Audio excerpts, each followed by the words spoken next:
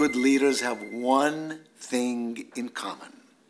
It's not personality, it's not authority or a high level of expertise. Oh no, good leaders create capacity. Good leaders create capacity in themselves and in others. They lead by developing and bringing out the best in others.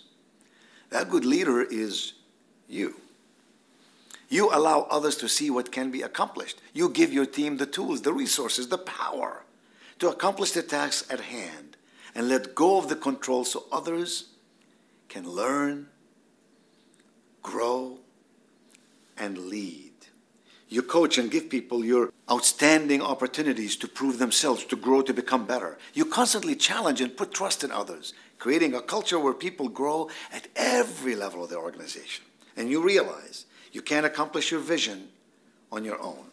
Let me give you an example. A koi fish. Give it all the food it needs, all the water it needs, and that koi fish will never grow to more than about two inches in size. Take the koi fish out of the fishbowl and throw it in a lake somewhere and watch what happens.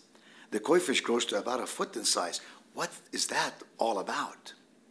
Well, the takeaway from such a story is what any leader needs to know. The koi fish grows proportionately to the environment in which it lives. In other words, in the fishbowl, the koi fish has all the security, all the food, all the basic needs of life.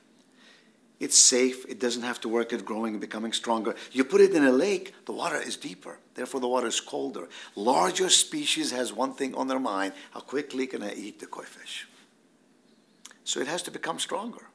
That's what you and I do. We become stronger when we need to become stronger. And leaders need to create an environment in which, through which, by which, all others around them are willing to excel and grow, be nurtured, and be nourished. Leadership is more than the lessons you learn or the things you do. Leadership is about who you are. It's about empowering others to reach their full potential. Have a great day.